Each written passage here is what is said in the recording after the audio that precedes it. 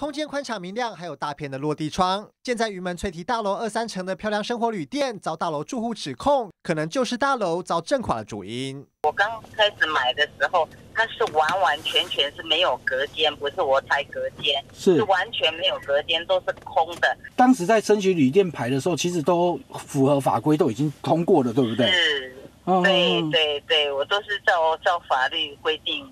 照法规，然后我也有执照啊。业者否认自己有更动大楼结构，不过却遭到社区的前副主委打脸，还说当初没有做好把关责任，对自己相当自责。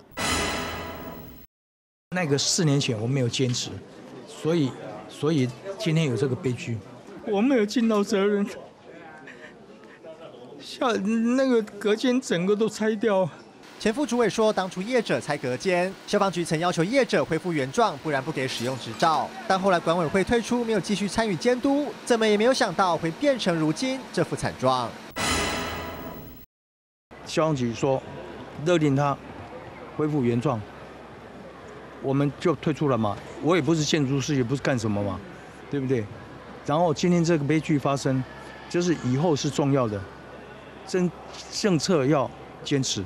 事实上，这间漂亮生活旅店开业已经有十年之久。一开始民宿申请没有通过，又改申请成商务旅馆，用漂亮装潢、中价位的价格，吸引了不少背包客、国旅客还有陆客。尽管业者表示应该理赔协助的责任，自己都不会逃避，但业者变更结构，是否就是大楼在地震中倒塌的主因？现在还有待相关单位进一步调查厘清。记者吴彩勋、廖威林、廖玉志，华联报道。